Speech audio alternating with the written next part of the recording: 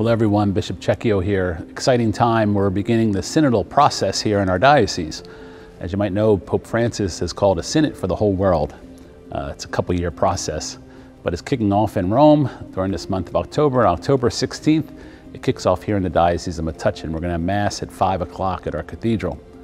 The Pope's asking every diocese in the world to do this, to begin a process over these next months, uh, to basically listen in the Holy Spirit to listen to what the needs are of our church today. So the Synod's a process to help us to listen, to listen in the Holy Spirit to what are the needs that have arisen.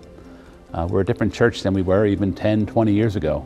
And what new ways have we learned? What new things can we do to evangelize, to reach out?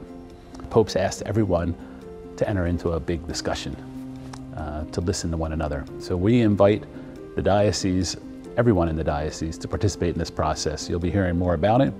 Uh, we're meeting on the 16th with our pastoral council and representatives of our clergy and religious uh, for uh, our first listening session.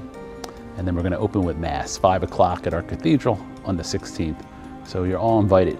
It'll be a great way to kick off this process.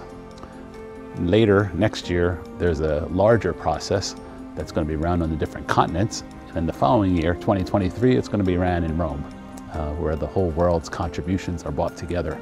So we're just at the seminal beginning of this. Uh, and we begin in prayer, as always, with Holy Mass, uh, asking the Lord's guidance for us as we begin this great listening project.